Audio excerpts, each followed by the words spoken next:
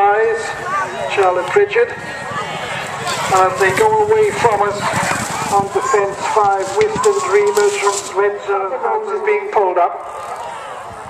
So the field are down to six with Schmetzer continue to dispute the lead with Whiston Dreamer. They've swapped places last time around. Whiston Dreamer was on the inside. They jump in with Duke of Croatia. Karazov making good ground up on the inside to go in a third.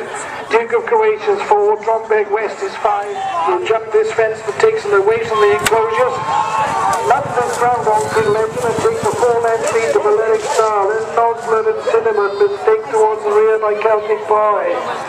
Fly Direct is still last behind them Celtic boys. Cinnamon looks hard work for him and get off the table He's going nowhere.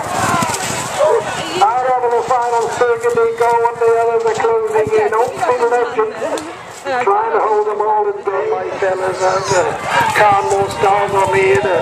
In midfield now we are with Lady Trig who just reached for the playing well, which will take them down the back. Little Miss Monty has slipped up on the approach to the fence. Shaw, Emily just getting to her feet. She's okay. Little Miss Monty's okay as they go down the fence. Six. Rosie's Peacock.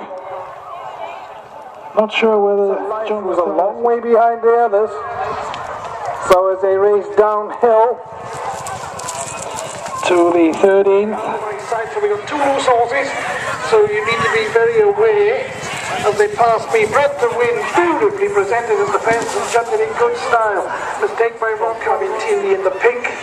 Rockwell with being good ground, to covered and spearhead. These two to take it up now.